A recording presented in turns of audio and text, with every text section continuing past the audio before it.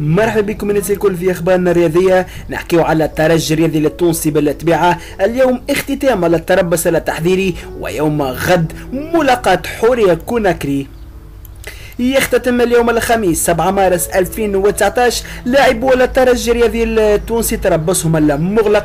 استعدادا لمواجهة نادي حورية كوناكري الغيني يوم الجمعة ضمن الجولة الخامسة من منافسات المجموعة الثانية ببطولة دوري أبطال أفريقيا لكرة القدم. يذكر أن المقابلة ستدور على الساعة الثامنة ليلا بملعب رادس الأولمبي. وستشهد تشكيلة المكشخة عودة اللاعب حمد الهوني.